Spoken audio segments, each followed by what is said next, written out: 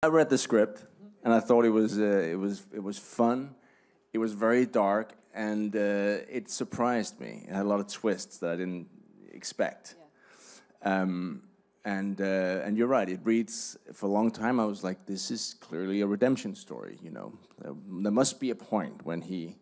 I'm not going to give anything away, but it, it surprised me in that way.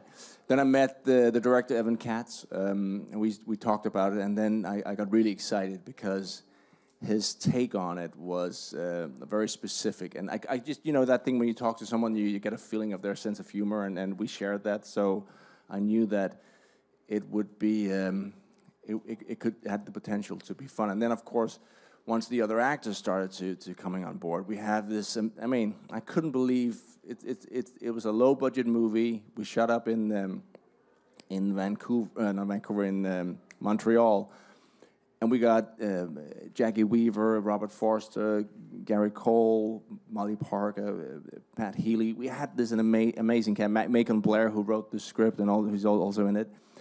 Um, it was just so exciting to do it. Mm -hmm. And uh, and then you said the other woman, which was like a, a far, you know, a farce, I guess, a female fantasy. But I, I got to have some fun with that. The, I love the physical aspect of comedy.